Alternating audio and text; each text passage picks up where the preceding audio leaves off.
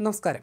ചന്ദ്രനിൽ നിന്ന് സാമ്പിൾ ശേഖരിക്കുന്ന ലക്ഷ്യവുമായി ഐ എസ് ആർഒ ആസൂത്രണം ചെയ്യുന്ന ചന്ദ്രയാൻ നാല് ദൗത്യത്തിന്റെ വിക്ഷേപണം രണ്ട് ഘട്ടങ്ങളിലായെന്ന് ISRO chairman S Somanath.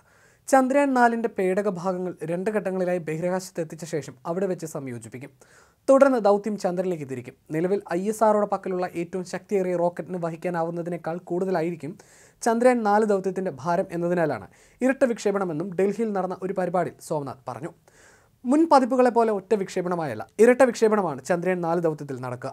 Chandrayaan നാല് പേടകം രണ്ട് ഭാഗങ്ങളായിട്ടാണ് വിക്ഷേപിക്കുക. ശേഷം ബഹിരാകാശത്ത് വെച്ച് ഈ ഭാഗങ്ങൾ തമ്മിൽ യോജിപ്പിക്കുകയും ചന്ദ്രനിലേക്ക് യാത്ര തുടരുകയും ചെയ്യും.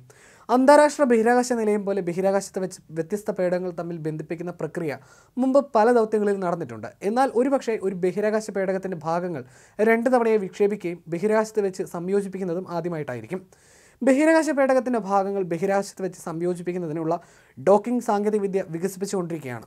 സ്പെയ്ഡെക്സ് എന്ന് പേരിട്ടിട്ടുള്ള ദൗത്യം ഈ വർഷം അവസാനത്തോടെ പൂർത്തിയാകും. ചന്ദ്രയാൻ നാലിന്റെ ചെലവ് സംബന്ധിച്ച് റിപ്പോർട്ട് ഉടൻ സർക്കാരിന്റെ അനുമതിക്കായി കൈമാറുമെന്നും അദ്ദേഹം പറഞ്ഞു.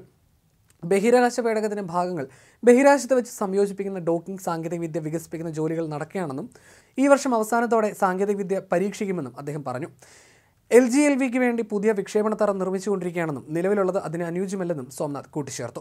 ചന്ദ്രനിൽ നിന്ന് പേടകങ്ങൾ ഭൂമിയിലേക്ക് തിരിച്ചു വരുമ്പോൾ മൊഡ്യൂളുകൾ തമ്മിൽ ഡോക്ക് ചെയ്യാറുണ്ട്. മൊഡ്യൂളുകളുടെ ഭാരം ക്രമീകരിക്കാനും മറ്റും ഇത് ഉപകാരപ്രദമാണ്. ഉദാഹരണത്തിന് ലാൻഡിംഗ് സമയത്ത് പ്രധാന പേടകത്തിൽ നിന്ന് ഒരു ഭാഗം വേർപെട്ട് ഭ്രമണപഥത്തിൽ തുടരും.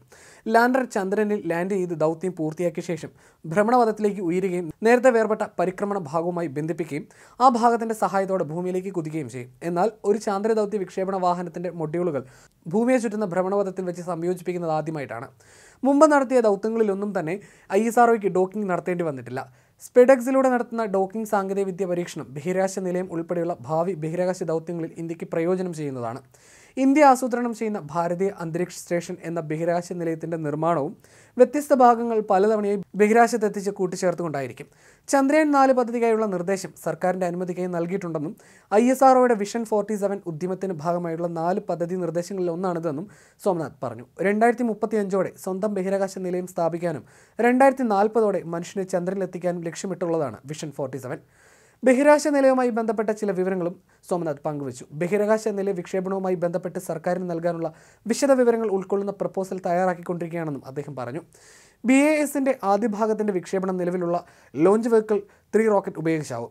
രണ്ടായിരത്തി ഇരുപത്തിയെട്ടോടെ ഈ വിക്ഷേപണം നടത്താനാണ് പദ്ധതി. ശേഷം പരിഷ്കരിച്ച എൽ വി എം ത്രീ റോക്കറ്റോ നിർമ്മാണത്തിലുള്ള പുതിയ ഹെവി റോക്കറ്റായ നെക്സ്റ്റ് ജനറേഷൻ ലോഞ്ച് വെഹിക്കിൾ ഉപയോഗിച്ചായിരിക്കും നിലയത്തിന്റെ ബാക്കിയുള്ള ഭാഗങ്ങളുടെ വിക്ഷേപണമെന്നും അദ്ദേഹം പറഞ്ഞു. അതിനിടെ ഐ എസ് ആർഒ നിർമ്മിക്കുന്ന പുനരുപയോഗിക്കാവുന്ന വിക്ഷേപണ വാഹനത്തിന്റെ അവസാന ലാൻഡിംഗ് പരീക്ഷണവും വിജയകരമായി പൂർത്തിയാക്കിയിരുന്നു. പുഷ്പക് എന്ന പേരിട്ട ആർ എൽ വിയുടെ കൂടുതൽ സങ്കീർണമായ മൂന്നാം ലാൻഡിംഗ് പരീക്ഷണം ഞായറാഴ്ച രാവിലെ ഏഴ് പത്തിന് കർണാടകയിലെ ചിത്രദുർഗ എയ്റോനോട്ടിക്കൽ ടെസ്റ്റ് റേഞ്ചിലാണ് നടന്നത്. പേടകം സ്വയം ദിശയും വേഗതയും നിയന്ത്രിച്ച് റൺവേയിൽ ഇറങ്ങിയിരുന്നു. ബഹിരാകാശത്തേക്ക് പോയി വരാൻ ഉപയോഗിക്കാവുന്നതാണ് പുഷ്പക് വാഹനം. മൂന്നാം പരീക്ഷണം വിജയിച്ചതോടെ ഭ്രമണപഥത്തിൽ പോയി തിരികെ എത്തുന്ന പരീക്ഷണങ്ങളിലേക്കും കടക്കും. പുനരുപയോഗിക്കാവുന്ന റോക്കറ്റിന്റെ ആദ്യ രണ്ട് പരീക്ഷണങ്ങളും വിജയകരമായിരുന്നു.